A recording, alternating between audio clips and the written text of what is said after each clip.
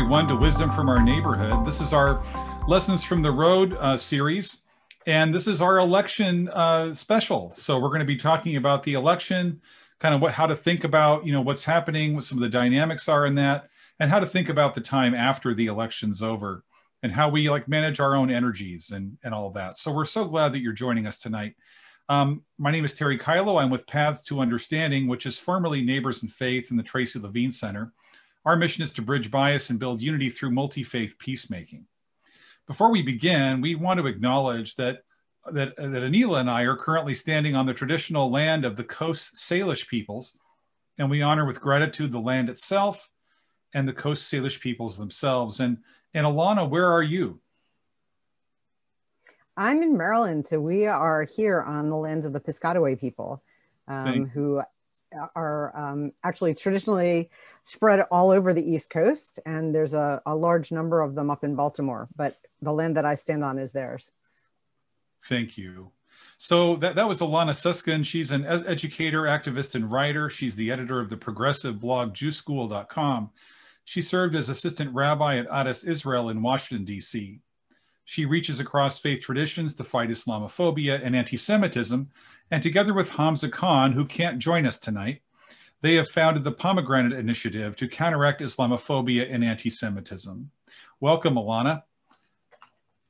And then Aneelah Afzali tonight is joining us. She's the founder of MAPS-AMEN, the American Muslim Empowerment Network. She's an activist, public leader, and a member of the board of the Faith Action Network. And I'm Terry Kyllo, the executive director of Neighbors in Faith, or of, excuse me, of Paths to Understanding. In the first debate, uh, President Trump said, Proud Boys, stand back and stand by. But I tell you what, somebody's got to do something about Antifa and the left. A few days later on Fox News, he said, I condemn the KKK. I condemn all white supremacists. I condemn the Proud Boys. I don't know much about the Proud Boys, almost nothing, but I condemn that. So, how did you two interpret his statements and the interval between them? And maybe let's let's start off with Alana.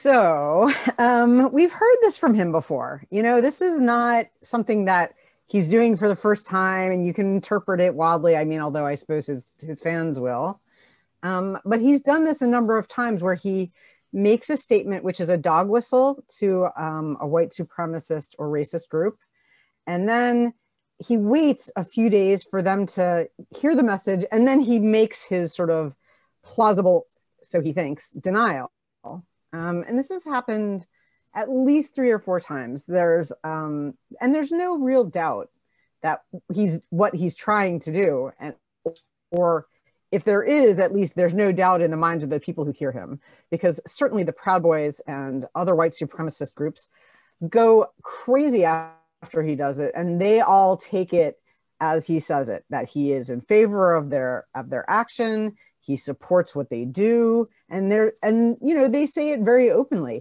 We know he said it we know he had to take it back but we know what he really means. So you know i uh i think it's pretty clear.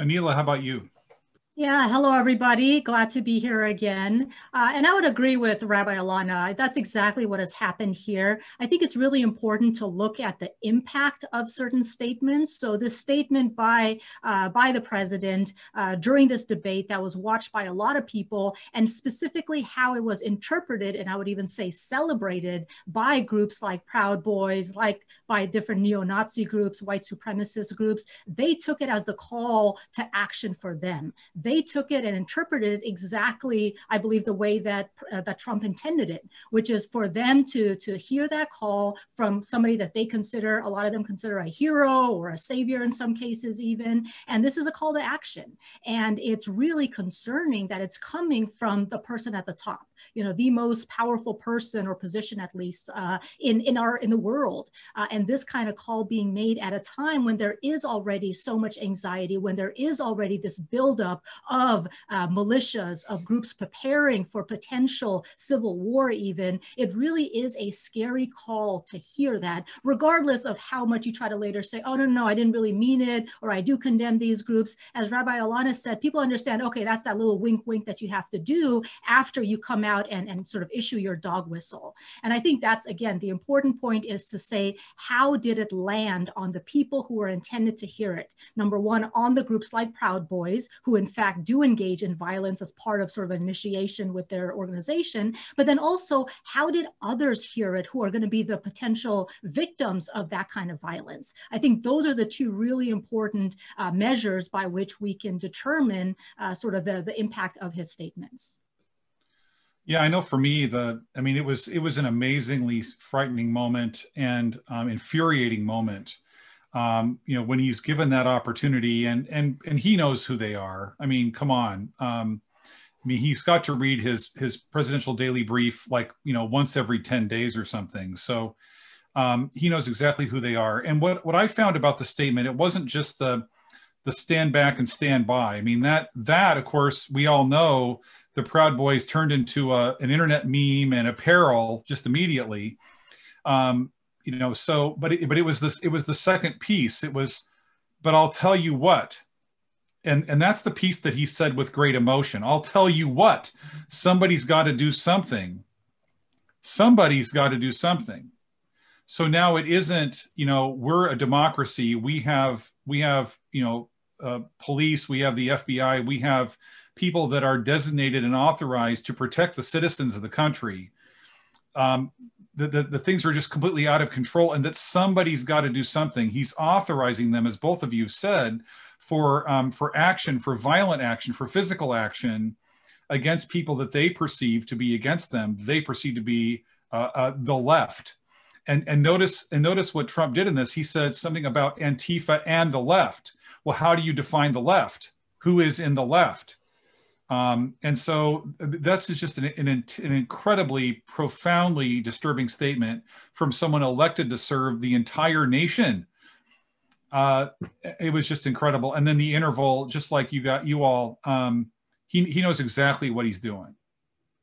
And, and what, what is what is frustrating to me is that there are so many people in the country who don't seem to recognize, oh, well, he didn't mean it that way or whatever.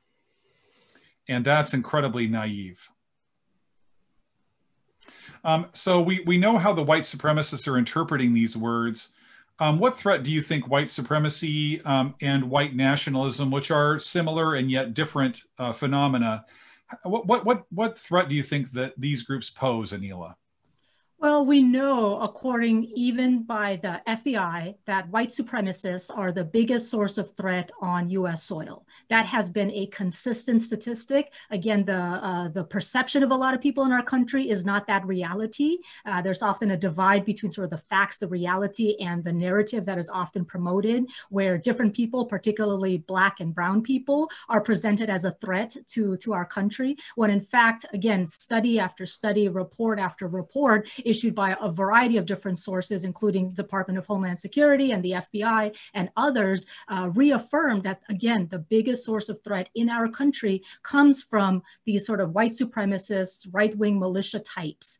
Uh, so they are a very serious threat, and they should be treated that way as the very serious threat to the safety of all of us. And again, I'm not, I'm not saying they're just a threat to the left or just a threat to Antifa or just a threat to people of color. They are a threat to all Americans. They are a threat to our sort of uh, sort of our country on the whole. And I think that's what we all need to recognize and make a clear distinction between these kinds of groups and individual sort of white supremacists and the white supremacy as an institution and white people. Because I think a lot of people feel like they're getting attacked when we say white supremacists or white nationalism. And I think it's very important for people to draw that very clear distinction. We are talking about people who really are undermining our country's values, our democratic institutions, who are uh, sort of putting at risk the safety and security of every single one of us as Americans. So I think they're a very serious threat. They need to be taken as a serious threat. And we all need to make sure that it shouldn't be so difficult for anybody to condemn white supremacists, white nationalism, right wing militias. That should be a no brainer. You know, some of these things are a little bit difficult. We get to um, areas of gray. This is not an area of gray. It is you are either in support of violence and people sort of vigilantes taking violence into their own hands and trying to deliver, you know, law and order or justice, or you are in support of our national institutions, our country's democracy, our founding principles, and this idea that we are all in this together and we come together as a, as a union and we are stronger when we stand united on that and against these forces uh, from within our own country that threaten the safety and security and well-being of all of us, especially the most vulnerable among us. Alana, what do you think? And actually, I, I even want to, you know, and I, um, I agree with everything Aneelah said, but I'd actually even want to focus on the second half of his statement, which is the Antifa piece, right? That by uh, um, first of all, you know, what is Antifa? You know, he, he, the rather than the fact that Antifa is actually the traditional name and has been since World War II for anti-fascists. There's no group Antifa. Antifa is just people who are anti-fascist.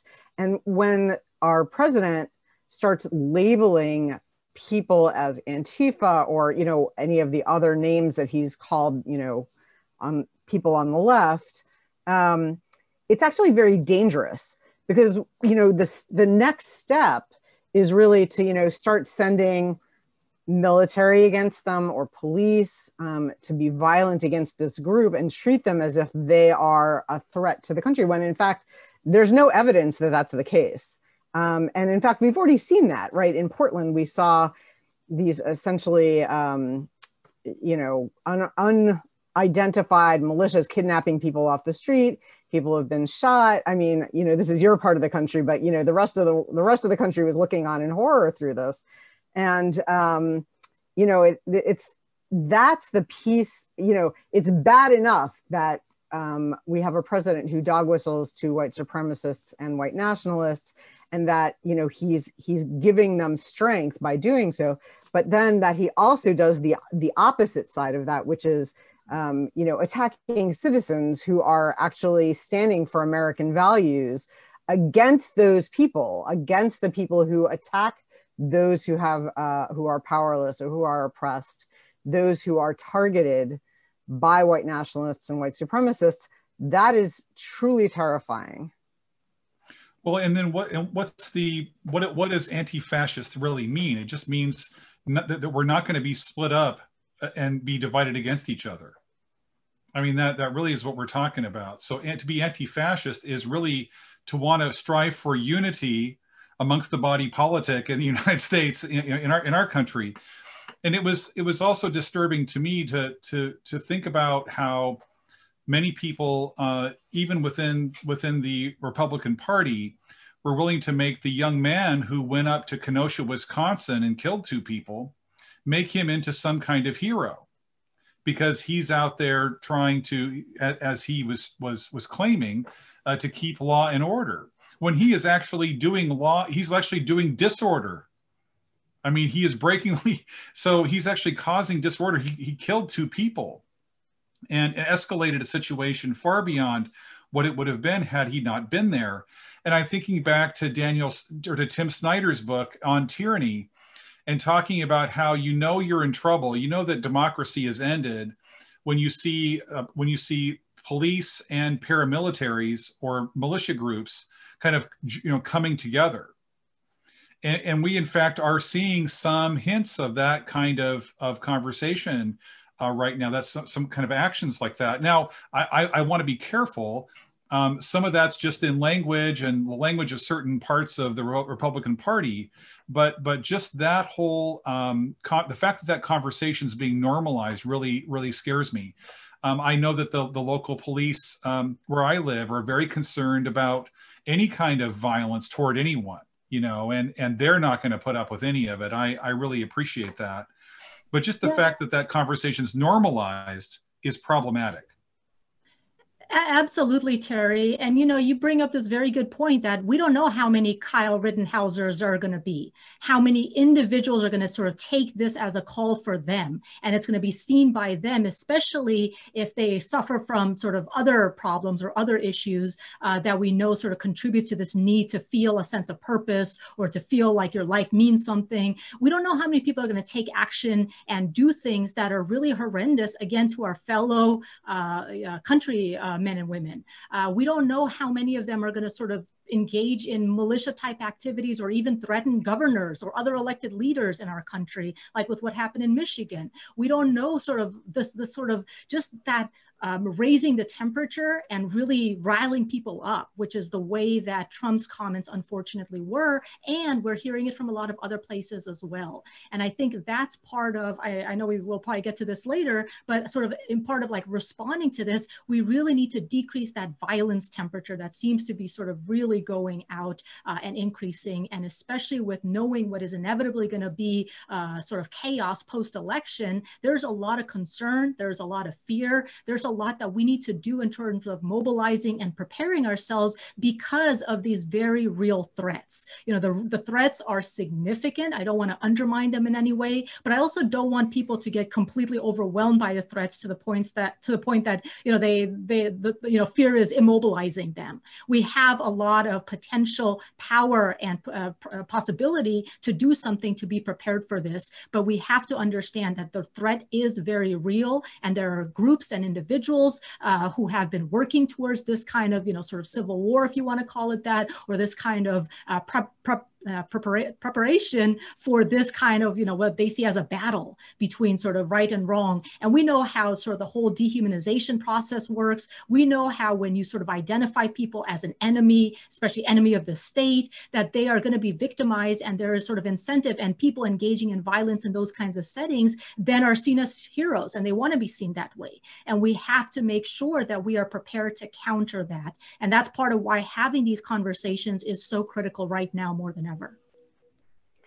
I want to, can I, if I could just for a second zero in on something you said about playing the long game. Um, one of the things that I find extremely concerning is actually how how much of a long game and how much preparation we actually now are realizing has been happening in these white supremacist, white nationalist groups. So, for example, I know um, from friends of mine, rabbis who have served in the military, that it's actually not a new problem that the military has been seeded um, mm-hmm. for a very long time, at least 20 years, um, with white supremacists and, and white nationalists who have moved up through the ranks. And we also know um, that police departments throughout the country have also been targeted by them. And people who are white nationalists and white supremacists have joined police departments all across the country and also are working their way up through the ranks. And this is not to say that either the military or the police are in and of themselves bad. Quite the contrary. In an ideal, you know, in an ideal situation, both of those are um, organizations which are can be depended upon to, to protect people who otherwise might not have protection. And that's what we want, right? We want to be able to figure out ways to say, look, we are going to, we see that these groups are working to taint these organizations and we need to figure out a way to remove them um, and i that's another thing which i think a lot of us um, are we haven't been paying enough attention to this is not something that happened in the last four years but we've let it go right there wasn't enough there wasn't enough um, ferment about it for us to think like oh yeah we've really got to do something about this finally now we're coming to the realization that if we don't do something about it it it goes all the way to the top.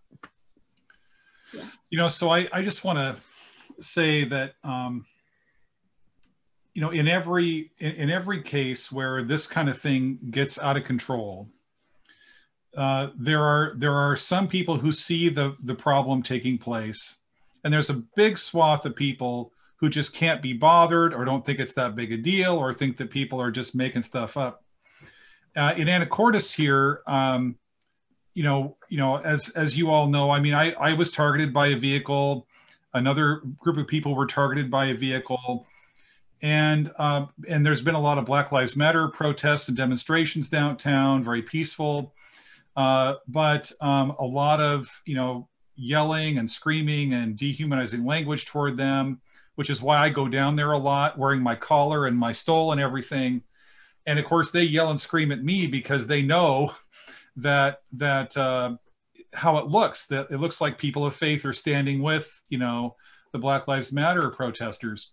So right on the corner where we've been protesting, uh, people put up stickers on the light poles, which is illegal, and it was for the it's for a movement called the Rise Above movement, which is like the Proud Boys. It's kind of a a right wing racist fight club uh, anti-leftist fight club. and so what they want to do is is you know gear up and come down and they they get they get certain uh, privileges within their group if they uh, if they beat people up. And uh, and so this has been going on just in little old anacortes you know 15,000 people you know and, it, and it's here. So i guess what i'm wondering is you know could we explore a little bit about what not the impact of the groups but at the impact of the fear is having on our communities. And I'm wondering if you might might start us off, Aneelah.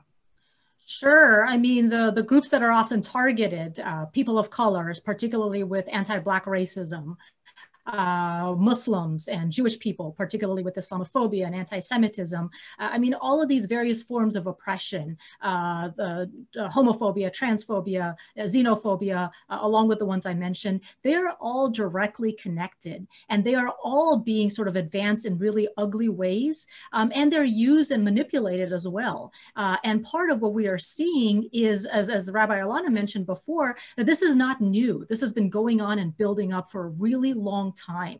And we have had communities that are directly impacted speaking up and talking about this for, you know, year after year, decade after decade. And it has gone unaddressed mostly at a really large institutional level. Um, and we're, you know, we're seeing this national uprising now for racial justice, which is very long overdue. Uh, so we are seeing a little bit of a different conversation now. But the reality is that this has been going on for so long, and the communities that are directly impacted have been feeling the carrying the brunt of this sort of racism, um, Islamophobia, xenophobia, all of this stuff. They've been carrying it, um, and the fear that comes with that, with comes with that that comes with the increase in hate crimes, that comes with the increase in bigotry and discrimination, and everyday people walking around and being attacked, being assaulted, facing sort of direct threats, and, and all kinds of stuff. It has absolutely had an increase on anxiety, on fear, on people sort of turning inward. It has had the impact of people sort of not knowing who to trust. Uh, it has created a divisiveness in our country. There have been very real consequences in addition to the very real actual uh, violence that has uh, occurred as well. So the threat is very, very real. And I want to add, and I, I don't know if this necessarily fits here, but I want to add that it's not just the sort of militias and the right-wing groups and the white supremacists. It is the everyday, the microaggressions and the ongoing, very real racism, Islamophobia, anti-Semitism, xenophobia, all of this stuff that we experience even within sort of the sort of liberal communities, even within sort of leaders who speak beautiful, eloquent words, but then their, their actions actually contradict the beautiful rhetoric that they may be promoting. I mean, we experienced this with the city of Redmond and the leadership there, where they're very happy to say things like, we stand with you, our Muslim neighbors, but when it came to a, a group actually promoting hate against Muslims very uh, severely and, and in a very sort of documented way, we were able to identify all of their comments uh, the majority of, of the Redmond City Council, unfortunately, could not come out and say that we condemn this specific kind of hate. That seems so simple. Again, it's one of those issues that shouldn't should be a no-brainer, but unfortunately it wasn't. So I want to be very clear that this is not a partisan problem. It is a non-partisan problem across the board, and the fear and anxiety that results from that uh, is very real, is very consequential. Um, but I don't want to take away from the the incredible strength and resilience that communities of color, Muslim communities, and others have shown, even in the face of really ugly hatred and even violence. Alana?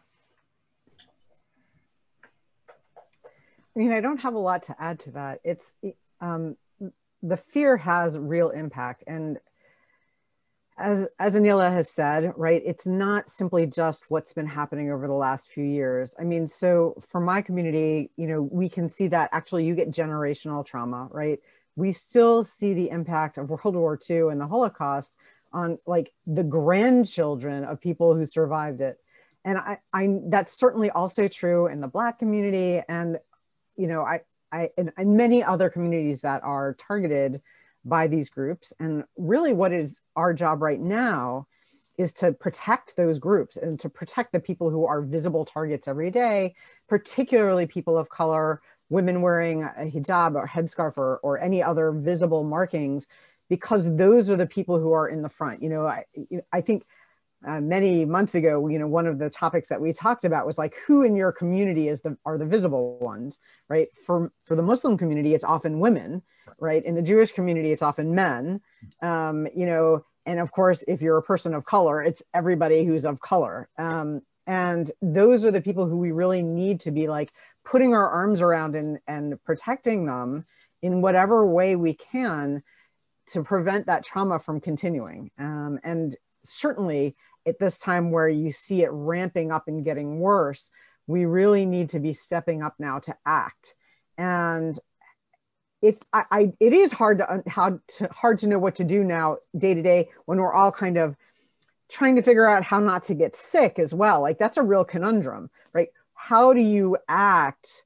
You know, how do you take action? How do you go out into the public sphere and still keep keep yourself and your family safe and also act to protect from these other things that are happening at the same time. And it's um, you know there's a lot to think about there. Yeah i really appreciate what both of you said. Um, so i think there's a there's a fear that i think the fear is working to as you both said to have people withdraw from the public space. And of course covid makes that so complicated eh, as well. But even perhaps to withdraw from voting because it's going to feel dangerous you know and that's that i think is part of the of the danger of the some of the rhetoric out there um, particularly by president trump uh, but by others as well trying to say hey you know voting's dangerous and it might not work anyway and your vote might not count so don't bother voting. All that's extremely disturbing but i think the other the other component of it is you all said perfectly which is that we can get so focused on white supremacists that we do not look at the way at the way our country has been built on a caste system where some people are important and some people aren't.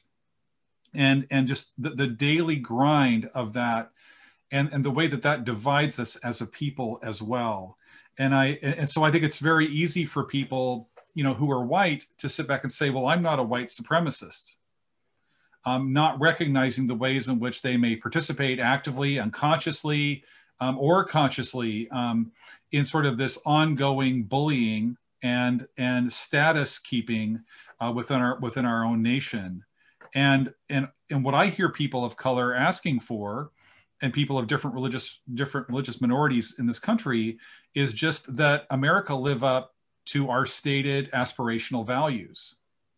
And that that doesn't mean that there's going to be less for white people it means that there's going to be a bigger Thanksgiving table. There's going to be a bigger meal, a table set out for everybody, and where where uh, where people can contribute to this country in a way that helps build up everybody's uh, safety and well-being, not a zero-sum game where we're gonna we're gonna have stuff taken from from white folk. And I I think this whole conversation is very confusing for people. And part of the way the fear works is is denial that well I'm not one of those violent folk. But you may be a person, we may be people who are silent in the face of it, which we know the, the, the great acts of terror in, in the world, like the Holocaust, could not have happened had people stood up and spoken and said no in mass numbers. So, oh man, get me going. Okay, so what do you think uh, is the potential chances and the impact of of some election violence, as as so many people have been talking about? Uh, Alana. Well, I don't know. Um, I mean, it's a real question. So I know that, so as part of the Poor People's Campaign here, here in Maryland, we think in this state, there's probably not likely to be a lot of violence, but depending on what happens, right, depending on how successful the voter suppression is or the outcome of the votes or you know, there's so many variables here. It could very well happen in other places. Um, and there are, you know, there are certain parts of the country where I think it's more likely um, to occur, uh, almost no matter what the outcome is, honestly.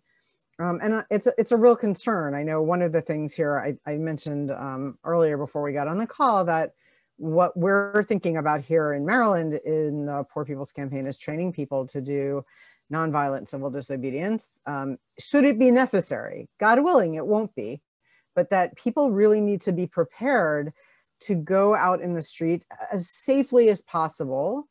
Um, not completely nonviolently, you know, everyone's going to wear masks and distance as much as possible, but we need people to be prepared to go. Um, and while that does entail some risk to us as individuals from COVID, if nothing else, um, I, I think that that in itself, if we really turned out people like the way people turned out for the first Women's March, if we saw that, if we saw something like that, if we saw mass mobilization across the country, I think that that would do a great deal to tamp down the threat of violence. Um, so that's i mean that's what i would encourage people is to speak with your feet you know pray with your feet as heschel would have said um, you know pray with your feet go out there and walk and if you do and if you bring your neighbors and you bring your family and you bring your cousins and you bring your church and your synagogue and your mosque and we're all out there in the street distanced and masked together enough of us out there on the streets that by itself might might well be enough um, mm-hmm. that's what i hope yeah, so I'm gonna I'll, I'll ask Aneelah to go last on this one. I, i'm just gonna say that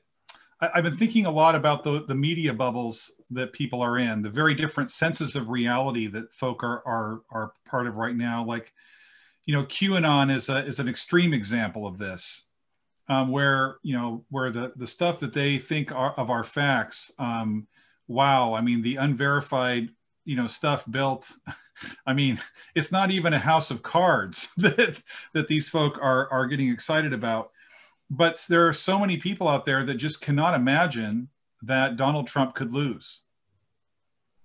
And and so the fact that we're even having a conversation about the potential for election violence is itself just absolutely astounding and and uh, and difficult all by itself.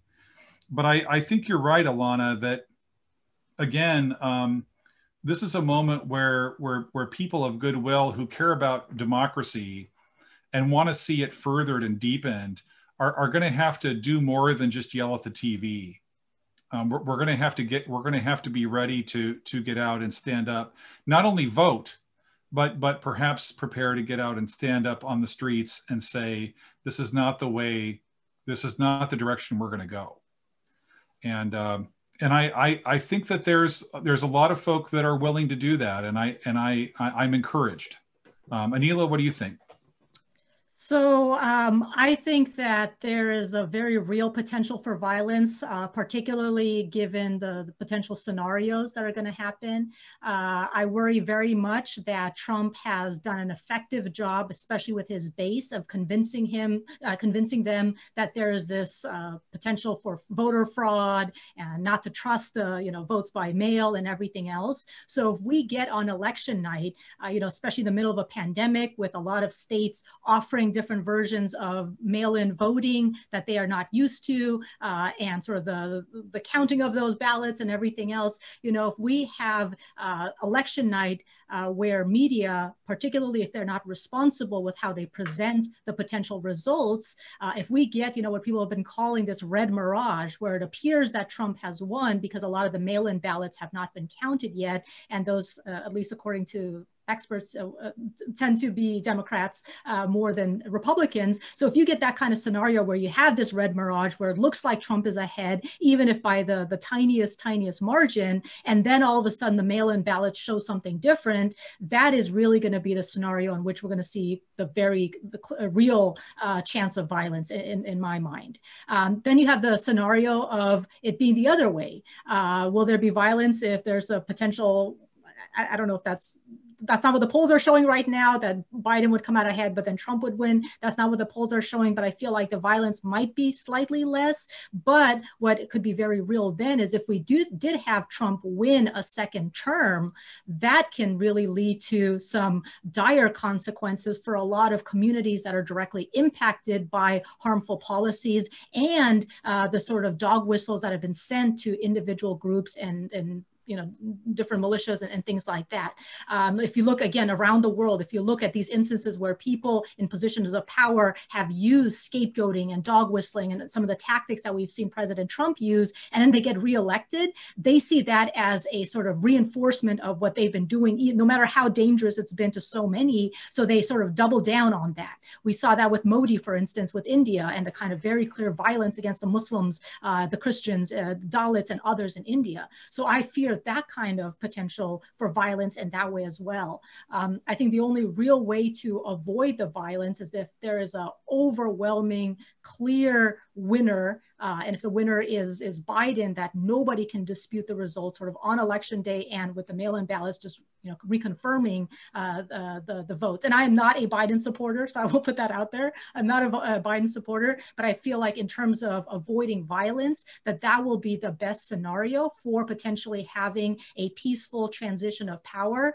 At the same time, you have so many people, millions now, who are the base of Trump, who are not going to go away anytime, even if there is a Biden victory. They're not going to just disappear or go away quietly. We're going to have to face this. And that's why it's so critical for different leaders, for faith leaders, for community leaders, for elected leaders, and especially for people, members of the Republican Party, to really step up now more than ever and make sure they are on point in their messaging and they convey something to be able to bring in a lot of these people who are disillusioned, who are disaffected, who are feeling like Trump is their person. And if they don't get Trump, they're willing to burn down the whole country for it. Like we need to reach those folks. And it's going to take a lot of work and it's going to require sort of part, you know, nonpartisan work uh, and collaboration across the board to help preserve something bigger than all of us, you know, our, our well-being as a country, as a nation, uh, really moving forward. Thank you, Aneelah. And I that, that really is a great segue into, into the next question, sort of, you know, focus for the evening here, which is, you know, we're very we're very focused as a nation on the presidential and other elections right now. Um, how should people be thinking about how to use our energies once the election is certified? Um, what are your concerns about how people may respond with either result? Like, um, how do we think about the future and the kind of work that's ahead of us? Um, I'm wondering, Aneelah, if you if you would go first. Sure. Uh, I think this is the, the place that we really, as especially as people of faith, we really need to focus. And the reason I say that is because there's going to be chaos, it seems, no matter, you know, all these different scenarios are going to have a level of chaos in them. Uh, and there are a lot of problems that we as a nation are facing at a political level, at an individual level, at an economic level, moral level. We have all of these different aspects. And I think it's going to be more critical than ever for us to address them, understanding the connection between these various issues. I think some of the immediate things that we need to do, uh, as I mentioned, is, and as Rabbi Alana mentioned that she's been involved in, is preparing for the post-election, you know, that, that period between uh, election night and inauguration is going to be a critical sort of three month period. That's going to be when we all have to sort of be willing to put ourselves on the line, be out there, do our part, really mobilize and show the, the sort of people power uh, that we need to see out on the streets. We also need leaders, especially faith leaders, because there are faith communities in every city, you know, every community, every city across our nation. We really need faith leaders and faith communities to address some of the underlying root problems of the kinds of things that we're seeing. You know, this idea of tribalism and otherization, Islamophobia, anti-Semitism, anti-Black racism, racism, racism in general, xenophobia, toxic masculinity, you know, Western male chauvinism. All of these are things that really need to be addressed um, as sort of faith institutions, we really need to get to the point of addressing some of these roots of the problem that are allowing for this kind of um, dividedness that we're seeing that's really hurting all of us. Uh, I have more ideas, but I'll stop there and then add some more maybe later. Alana, what do you have to say? So certainly um, I, I would agree with what Aneelah said in terms of preparation. I would also add, I think right now, one of the things we really need to be focusing on even before the election in terms of preparing for that period between November and January is um, really focusing on um, pushing your local representatives or all of your representatives, whatever you have, county, state, anything, um, to make sure that they commit uh, publicly to counting every vote, including the votes, you know, all of the all of the absentee ballots, all of the mail-ins, that that is something that we can do now to prepare. Um, and if that's that's a huge thing that we need to um, we need to get focused on that piece of it just in terms of having an honest and fair election. And then of course aneelah is correct in that once that happens and we do sort of you know we do get all of those votes counted and whoever is elected is elected that from that period from november to january um, we're going to have to start building alliances and structures that will make sure that we can push forward the um, the results of that election, that they happen without violence insofar as that's possible, God willing. Um, and I would also add that in addition to having our um, our leaders focus on um, breaking down the white nationalism and the the white supremacism that we're seeing and having that not just faith leaders also um, other public leaders i think the other piece of it is also to recognize that there are these other things that go into that right? Like mm-hmm. we can't really separate white supremacy and white nationalism from the fears that people have about other areas in their lives. Like if you're if you're poor and white and you live in a rural place where you're surrounded by other people who are also poor and can't get a job you know that's not you know and then you see these sort of you know people who seem to be laughing at you because you're poor and white that's not going to be um, conducive to a, like an open-hearted response to others. And so I, I think it's really important for us to also just really focus on that these are these are long-term problems which we've been in place for possibly hundreds of years at this point right? That you know it's part of the system that we live in it's a bit of a pendulum but right now we're in one of the worst periods right where people who are poor have access to less and less and people who there are fewer and fewer people who have access to more and more right? That you know the one percenters right who really have access to more than half of the wealth in the in this country let alone in the world. Mm-hmm. and that's really something that we have to address and that is a political problem right? It's not that isn't a that's not a white supremacy problem or white nationalism problem but it contributes directly to it because the people who want to maintain and grow their money and their power use white nationalists and use white supremacists to do so as part of the system. So you know it's not even just november to january. This is a really long-term project and it's going to be very difficult because the people with the money and the power don't want to change it right? They're going to want to keep aggregating it yeah. Wow. I mean, that's so I, I want to, I'll start off this way. I think, um, I think that, that you're both right about, about all of it. Like, I also think that at some point, uh, folk are going to have to re- hit, hit a reset button for themselves.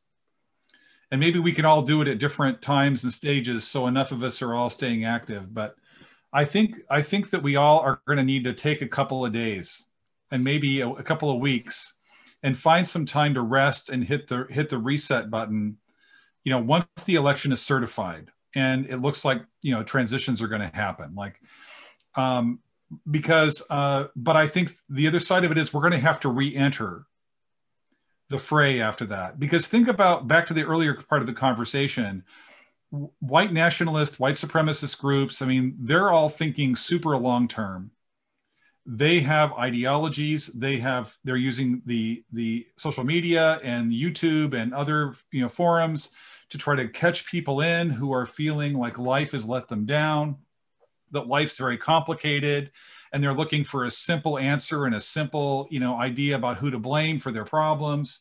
And uh, um, you know are, are, fearful of people of color are fearful that the, the way white people have treated people of color in this country is going to be reversed.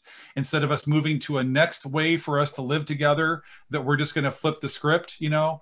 Um, so they're thinking long term and we've got to think long term too. And for this i want to call faith communities into into account. Like who cares how many people you have in your pews or your seats or on your prayer rugs you know, whenever you pray. I mean, I think that's important, right? We all want more people to come and all that. But how about if we recognize that the people that are lonely in our neighborhood are potential victims for these white nationalist and hate group people. That the people who are um, have some kind of you know emotional disability or intellectual disability are, are are potential targets. That people who are poor, who do not have a job as the result of of the fourth industrial revolution or whatever or whatever it is. Um, that those folk are are targets of these folk, and we've got to start and we've got to start thinking about rural areas and, uh, and, and, and be out there and in conversation with people in rural areas and, uh, and, and help and speak to them with respect mm-hmm. but with the challenges that they have are going through and with the contributions that they make to our well-being as a nation and so we've got to be thinking long term and not just say okay my my my guy won. Of course right now it's a guy. My guy won so everything's good. I can go back to not paying attention to things. Like that is not where we are as a nation right now. Like we have we have all got to like take a break hit the reset button maybe not look at 538 you know for election forecast every single day right? We've got to maybe watch a little less news but we've got to all, all pick a movement pick an issue and then work collaboratively with uh, collaboratively with other people um, because uh, our our nation is not only on a precipice right now we are going to be in this weakened, vulnerable state for some time. And, and it's going to take all of us to, to, to, to get things moving in a better direction. Absolutely, and I just wanted to add, uh, Reverend Terry, that specifically, you know, this this idea of economic well-being is so critical. Uh, you're both right. You both mentioned this that there are so many people who are directly impacted by the political decisions, both at the federal level, state, and local level, uh, and we need to help uh, change policies to be able to serve the people in need, to actually serve the people and put people over profits in our country. Uh, for far too long, since Citizens United and, and beyond we've had uh, a real sort of uh, push towards having even our elected leaders support corporate interests over people's interests. And this sort of idea of using things like white nationalism, like racism, like Islamophobia, like anti Semitism, all of these various forms of oppression as scapegoating tools to keep people fighting within you know, themselves rather than looking at the policies that are directly impacting them, that are actually the source of a lot of their uh, problems in, in life.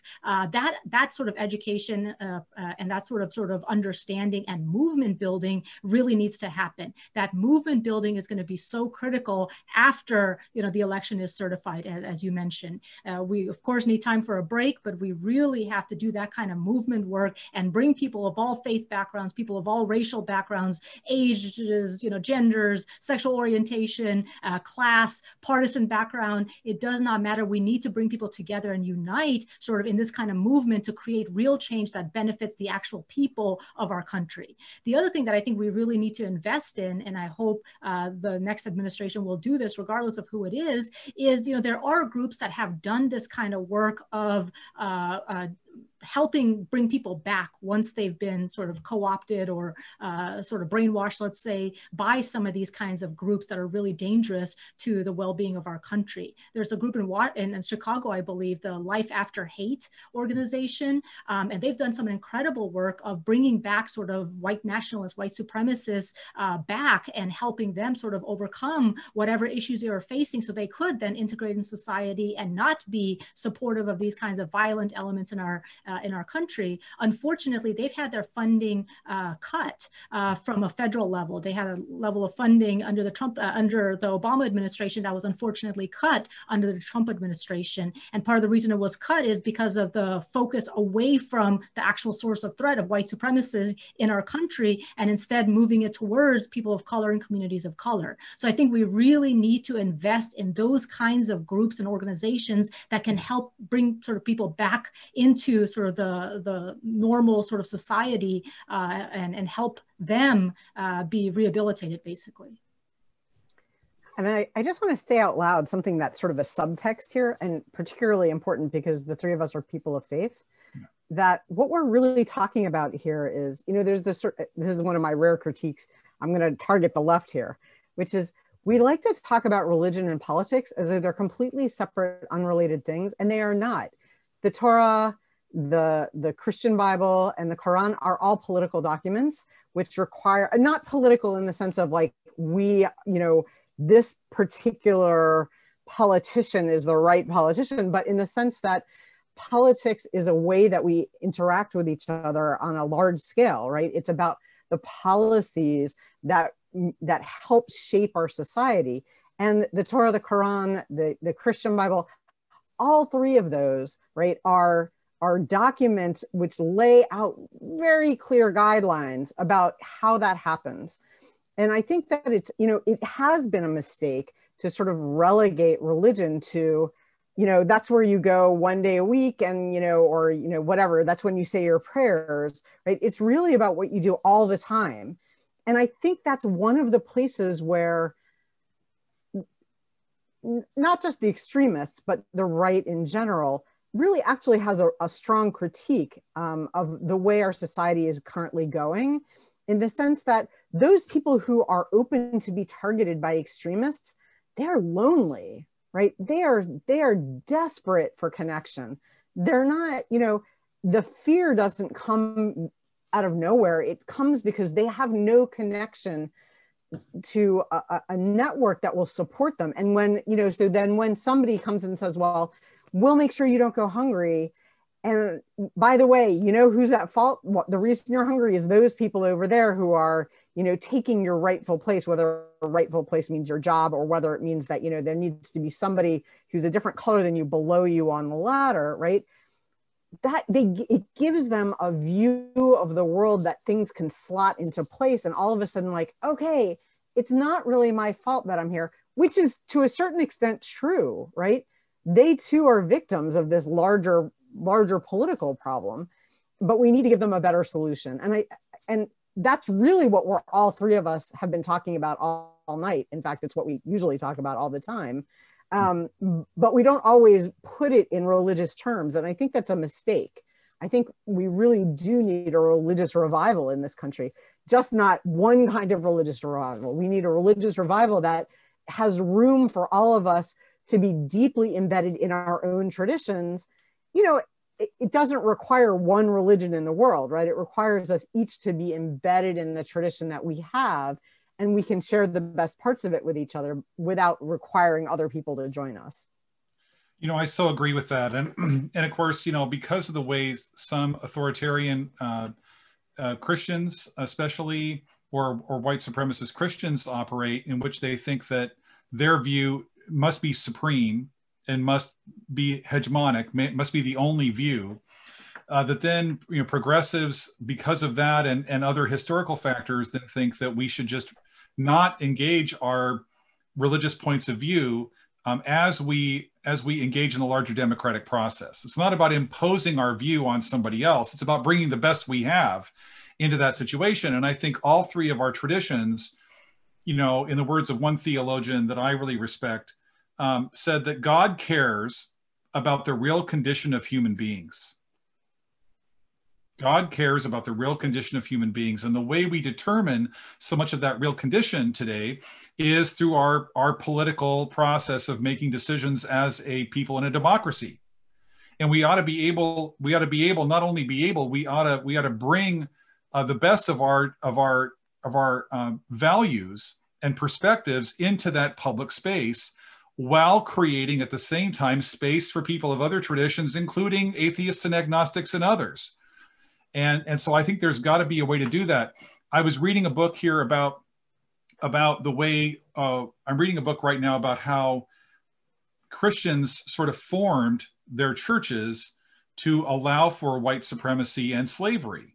And one of the tricks that they used was actually kind of an enlightenment trick. You know john locke basically said that religion is just all about your personal private spiritual whatever you do in your closet routine and they basically said that too that that when that when uh, when when people who were enslaved were baptized that baptism would not impact their their their chattel slavery mm-hmm. in fact part of the baptismal covenant was you have to promise that you're not trying to remove yourself from being enslaved and so that that was cemented into into the church in this country the the difference between personal and spiritual stuff theological issues and the public sphere which totally undercuts the entire notion of the Abrahamic tradition, which is it's okay for you to have a nation, for you to be a nation, but you got to care about the well being of other nations, of other tribes, of other families. It, it just totally undercuts love of self and love of neighbor and makes it into just a mockery. And so we have to get like, if, if progressives and liberals would just like get over that and learn how to play in that public space and that public debate with the best of what we have, we'd be in such a different place right now. I just, I, you know, the only thing I could think of when you were saying that is right, you know, in Genesis, when Abraham, who's the father of all of us, right? And and God says you're going to be a blessing to all of the other nations, right? You can't be a blessing unless you interact with them and you strengthen them, right? So that should be like a commit you know that's like a, a a calling to all three of us all all of three of our peoples right that we need to be a blessing right the power of blessing is in our hands but you got to give it away Yep, I absolutely agree. Uh, Prophet Muhammad, peace be upon him, taught us that the best of us are those who bring the most benefit to society. And right now, that call to bring benefit to society is so loud and clear. And I'll also add, based on what both of you said, with what I agree with what you said, but specifically this idea of coming together and having multi-faith gatherings or multi-faith opportunities to do this work. Because I will tell you something, even the people who are atheist or agnostic, I've literally heard it from those individuals as well that they are moved even though they are not of any religious background they are moved when they see you know muslim christian jew hindu sikh you know whatever you might have come together and take a united moral stand on the issues of justice that matter of the day and when they see that, I've literally seen atheists and agnostics shed tears because they've been moved by it. So you can imagine that people of religious backgrounds would also be moved by it and, and have been. And it's really, really powerful. And I think we don't give enough weight or credence to that role and that possibility for faith leaders and faith communities to do really transformational work. And we've seen it. And I, I love seeing things like the Poor People's Campaign because they try to do exactly that. And it's so critical and it's going to be needed moving moving forward, uh, sort of now more than ever? Yeah, I think we completely misunderstand the power of when we act together because it, it, not only are we working on an issue, we're working on an issue by working on the issue together. We're actually modeling a way for us to think about about humanity. I mean, I think the Abrahamic tradition was trying, and it's not perfect, it's not any kind of foolproof thing, but what it's trying to do is to help us recognize the humanity in other people, recognize that the diversity of human nature, uh, of human beings, human nations, human families, human cultures, human religions, is an intentional part of the created world. And that, and that, as I think Islam says, you know, so, so beautifully, as the Quran says so beautifully, I made you to nations and tribes so you may know and enjoy and experience and encounter one another, right? Um, I think that's all baked right into the Abrahamic tradition. And so when we come together, we can actually model like how we can be passionately believing what we believe. And because of that, not in spite of it, but because of that, work for a, a better world together. I think that that's just so powerful right now. Absolutely. Fully agree.